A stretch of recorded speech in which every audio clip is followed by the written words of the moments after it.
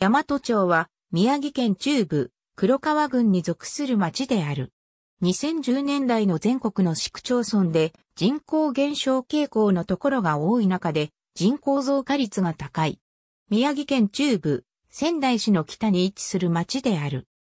ほぼ真北が大平村に、北西方が鹿間町に、東方が大里町に、南東方が利府町にそれぞれ接していて、町内中央部の東寄りの一角に、富谷市が南方から突き出すような形で分立する不規則な地形をしている。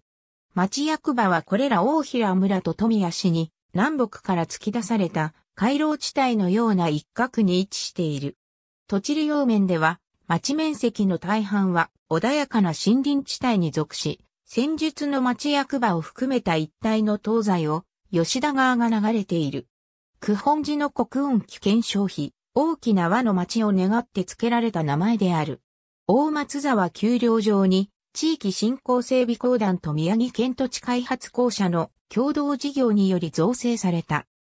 近くには、同様に、仙台北部中核テクノポリス構想に基づいて、大規模内陸工業団地として開発された第二、仙台北部中核工業団地や、これらの団地の機能を保管する流通業務を目的として造成された大平工業団地、また、宮城県長期総合計画に基づいて、県内物流機能を目的として造成された山と流通団地がある。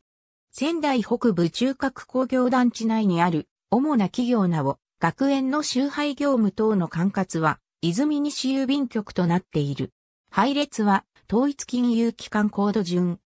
大学高校中学校小学校幼稚園、高速道路一般国道県道地域の人々に愛されている沢渡りの茅の木樹齢400年長参考文献。ありがとうございます。